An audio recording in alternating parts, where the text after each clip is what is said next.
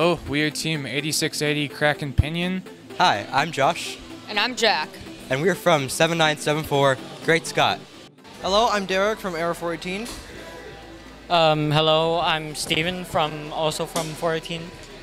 I'm Matthew, And my name is Thomas. and we're from Team 16460, the Gearheads. We're located in Brookfield and go to Brookfield Central High School. Um, we're going to show you guys what our initial concepts are for our 30 hour build.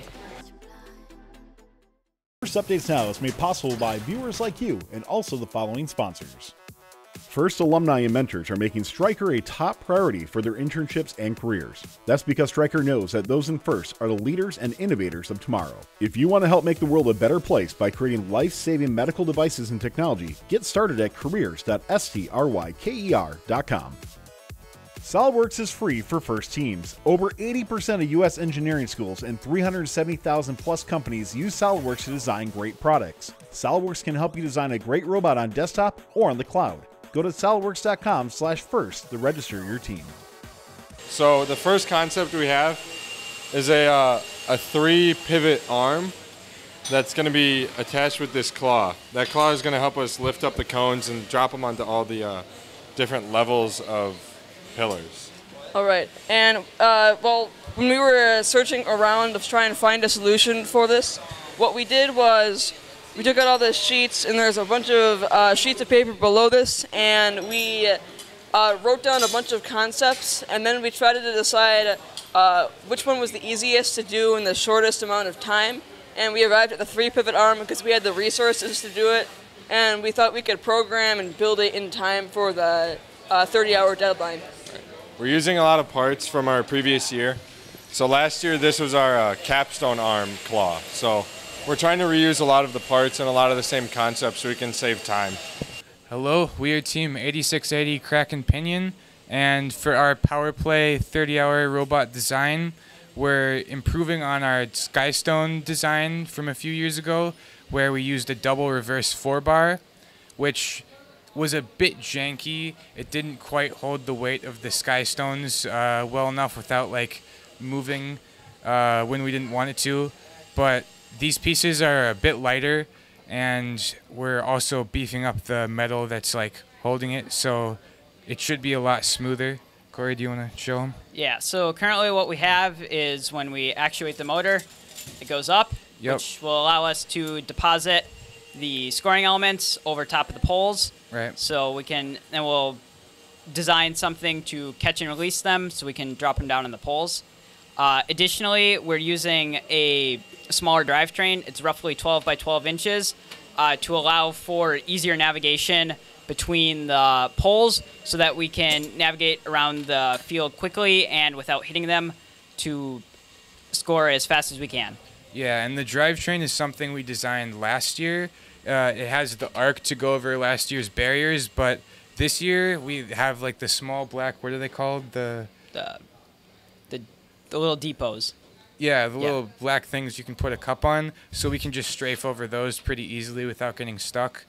Um, yeah, so these this one does, isn't powered right now because we don't have a motor in there, but eventually these will both be connected and we'll have some kind of intake outtake system on this side that'll like go over and be able to deposit onto the poles. Hi, I'm Josh, And I'm Jack. and we're from 7974 Great Scott. We're going to be showing you some of the primary functions and goals of our robot during the Robot in 30 Hours. So, our current strategy, as you see here, is um, this is our drivetrain from last year, which we're reusing. Our Freight Frenzy system essentially was an active intake and bucket that we then raised. Now, given that we're also raising things on the field during this challenge, Power Play, we've decided to reuse our system for the lift, but instead use a claw to pick up and place the objects. Jack, would you like to talk more about this? All right, so we have actually uh, asked uh, our generous friends, uh, Gearheads, to borrow their claw that they used last year, which we are going to be using on our robot. Claws are down This there the claw, themselves. We're currently 3D printing the parts necessary to put down the rest of it, but what will happen is we drive up to the up. cone, and it com- comes in ahead, here. Then we have the claws, which come in from the back here, and allow it to pick it up. we have it mounted on a servo, which will be mounted to this section specifically here, but is also mounted lower with this beam. Now what will happen is, one issue that we ran into is when the claw is holding the cone and we want to raise it up and bring it over, um, it'll end up being upside down. Now according to game uh, manual 2, that's not a valid strategy. So what we have, built by Shervin back here, is a system that takes the claw and rotates the entire mechanism to make it aligned to go on the rods. Hello, I'm Derek from Error 418. Um, hello, I'm Steven from also from 418. And uh, here we've got a super scientific diagram of our strategy this year. We were we were thinking that we'd intake these cones on their side instead of straight up, because it would use less space vertically, and that would make it a little easier to design. And then after that, the cone would go into a little box. It would be raised by this slide. And at the very top, because we can't we can't score the cones on their side, we would probably just use a small servo, tip them all over, and place them on top of the uh, yellow springs.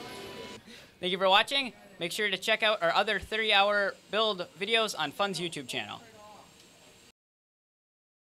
This video on First Updates Now is made possible by viewers like you and also the following sponsors.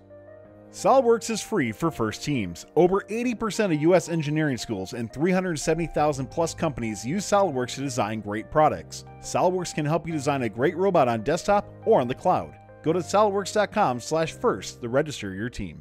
First alumni and mentors are making Stryker a top priority for their internships and careers. That's because Stryker knows that those in First are the leaders and innovators of tomorrow. If you want to help make the world a better place by creating life saving medical devices and technology, get started at careers.stryker.com. Special thanks to Team 8680 Kraken Pinion for hosting Robot in 30 Hours and also to their sponsors.